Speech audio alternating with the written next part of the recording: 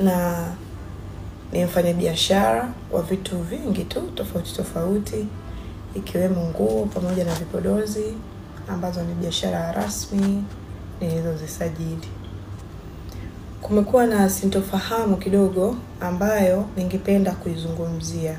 Kwa sababu gani naizungumzia hii sintofahamu sasa hivi? Ni kwa sababu kwanza nimeelewa kwa maadili ya adabu, pale ambapo wakubwa wakizungumza sana, sio vizuri kuakalia kimya, kwa sababu ni dalili ya dharau. Jamani, nadhani nitakuwa nimenukuliwa vibaya, itakuwa kwenye video zangu nazoposti kwenye matangazo, itakuwa kuna mtu alininukuu vibaya. Hakuna sehemu ambayo nilisema bidhaa za Kariakoo ni fake.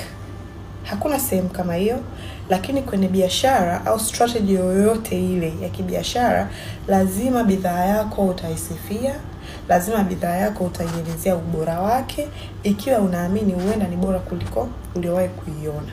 Kwa hiyo hakuna sehemu yoyote nilosema biashara za vipodozi vya Kariakoo ni fake. Kariakoo ni soko mama Kariakoo ni soko kubwa. Kariakoo imenikuza, nimeanzia biashara Kariakoo, nimetoka Kariakoo mpaka leo hii na uwezo wa kwenda nchi mbalimbali kwa ajili ya kuwaletea wateja wangu vitu vizuri. Huenda tatizo liko kwenye bei, lakini kila mtu anakuaga na strategy ya aina ya wateja anawataka yeye. Mimi ningependa zaidi kudili na wateja ambao wanakuwa wanatamani kupata vitu vizuri lakini hawavipati kwa sababu bei zinakuwa ziko juu.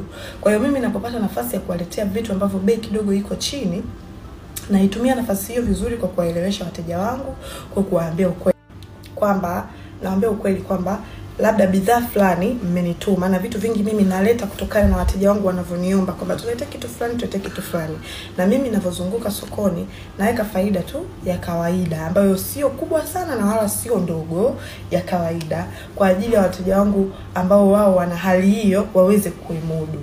Sawa eh? Kwa hiyo sijasema biashara ya mtu yoyote ni fake na sijataja mtu na sijataja soko.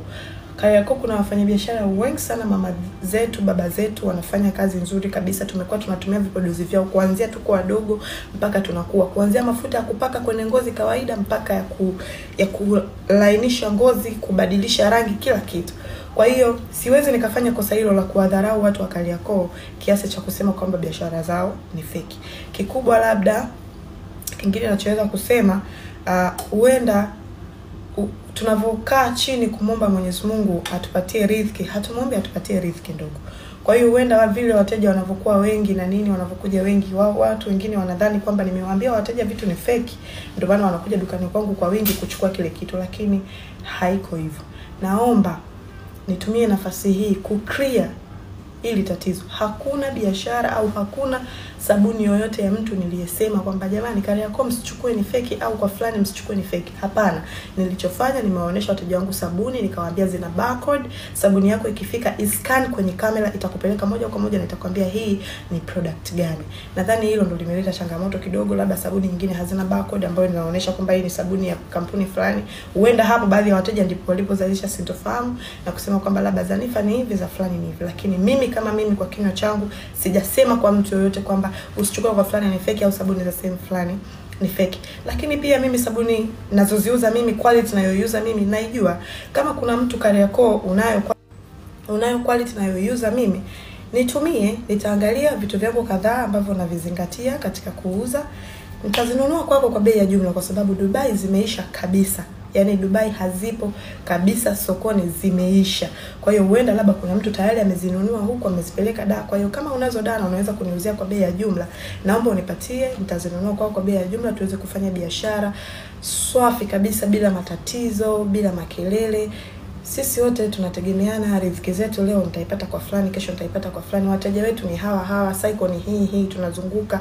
Leo atakuwa mteja wangu, kesho atakuwa mteja wako. Kwa hiyo nilikuwa naomba hii sintofahamu, jamani, tuimalize iondoke. Sina nia ya kuharibu biashara ya mtu. Alafu kuna kitu wengine wanasema kwamba kwa nini yeye anaposti biashara za watu wengine lakini yeye za kwake haposti.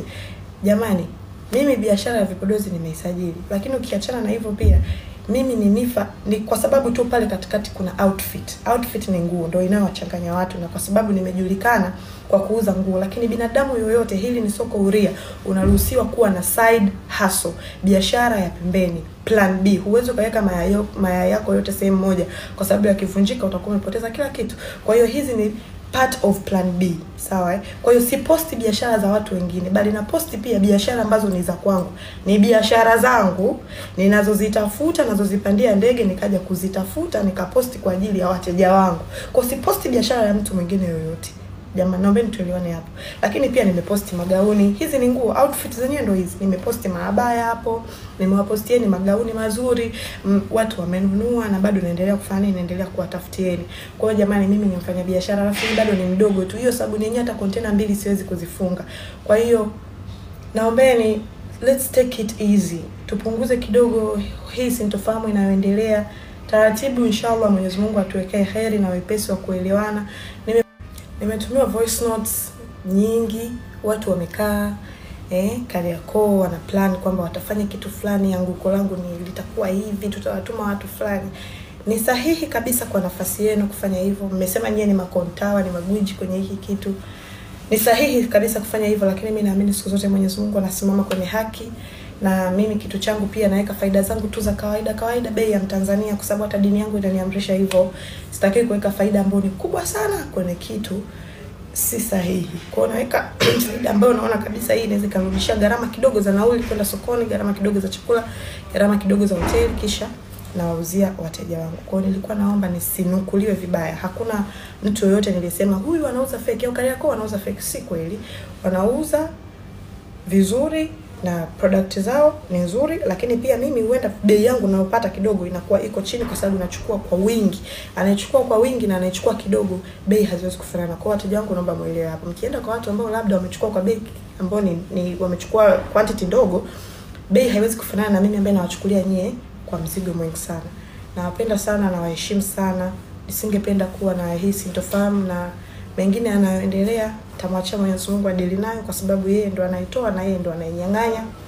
Kwa hiyo yangu ni hayo, ila nisingependa ku, kuwa katika mtafaruku na watu ambao wamenizidi umri.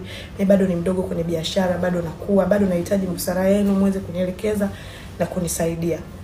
Asanteni sana.